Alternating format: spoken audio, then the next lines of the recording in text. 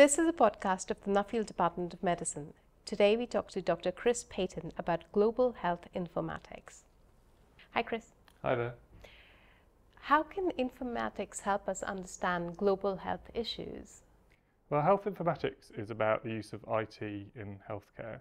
And in high income settings like the UK and the US, we've been using IT in hospitals and clinics for quite a long time now. And our research is around looking at the use of IT in healthcare in low resource settings, um, such as Kenya.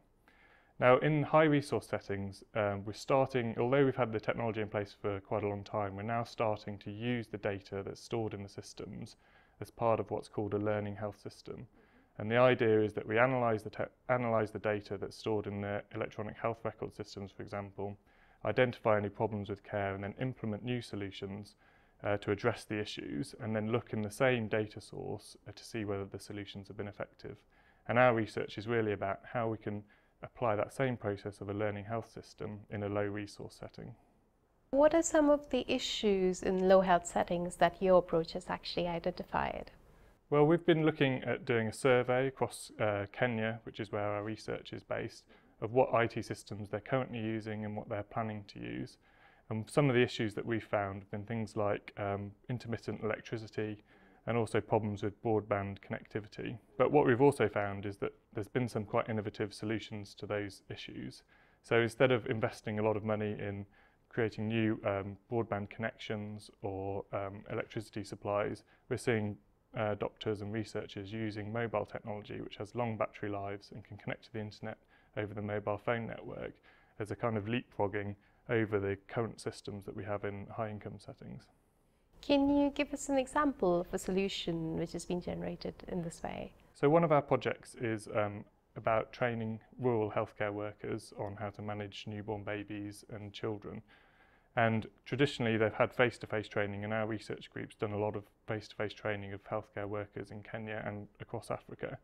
But we think that if we can use mobile technology to deliver the training, so you deliver the same type of training but just through a mobile device, then we can reach far more people and at much lower cost than traditional face to face training.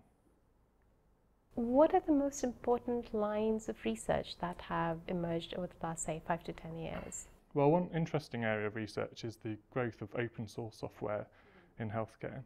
Now, um, over a number of years, there's been different research groups that have developed their own software um, for things like looking at the uh, HIV epidemic across Africa. And these research groups have started to come together and say, look, we're trying to solve the same problem. How can we combine our resources and develop software together?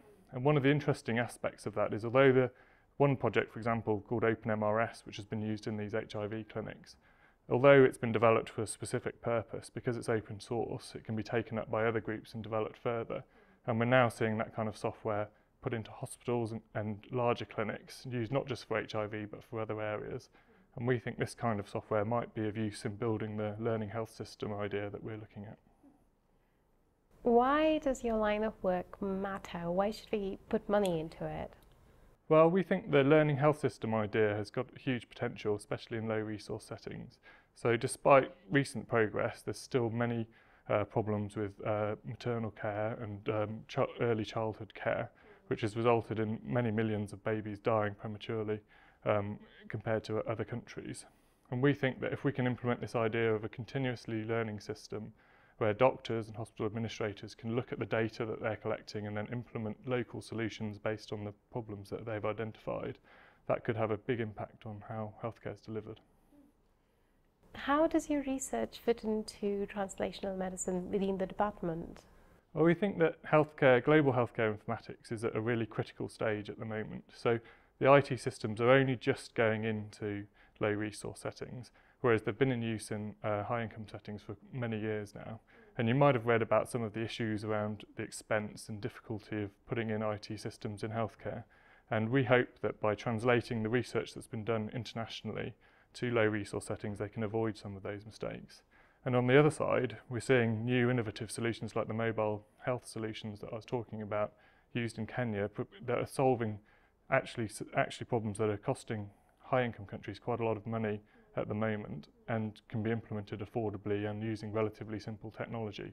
So we could translate some of the research from low resource settings back into the high income world. Thank you, Chris. That was fascinating. Thank Thank, you. you.